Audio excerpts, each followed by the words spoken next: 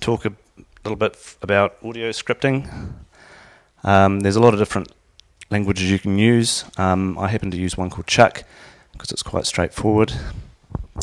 Um, so this is a Chuck script that plays a sound. Um, this is a sound buffer. We connect it using this operator called the Chuck operator to the sound card, which is the digital analog converter. We read in the file and we chuck the duration of the file to now, which is a sort of special thing in the language. And this will be fun. Oh, there we are. Ooh, no. okay. That's the sound. um, we can make that a bit more interesting by changing its playback speed, and um, we can assign different ratios of that playback speed to different floats, and then we can uh, assign those values to an array, which makes a tune. And then we iterate through that array, we reset the position, we set the rate, the speed to the, the current array member, and then we chuck half a um, second to now, and oh, that's lucky.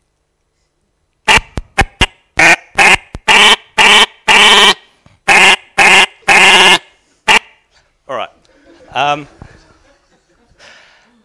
that's not that great either, but we can we can do more. So we add um, an additional sound buffer which reads in a beat, and we can loop that.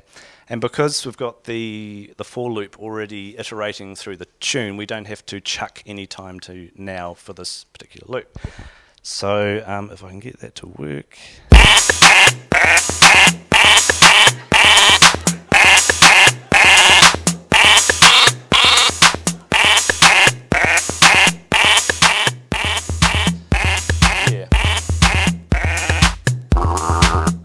Was a lot quieter.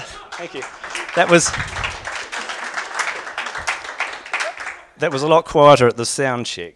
Uh, sorry about that. Um, so there are, yeah, I, I, that's not what I've taken up Chuck to do. Um, thankfully. Uh, so I've set up an internet radio station which uh, runs on a Raspberry Pi in a cupboard in my house, and it mixes and mangles field recordings. So that's something I'm interested in, ambient sound.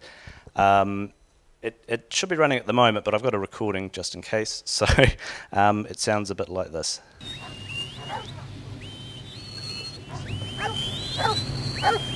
So what you're hearing there is a sheepdog trial uh, from a episode of a dog's show from 1991, 1981, if anyone remembers that, um, and a Swiss train I recorded about 10 years ago.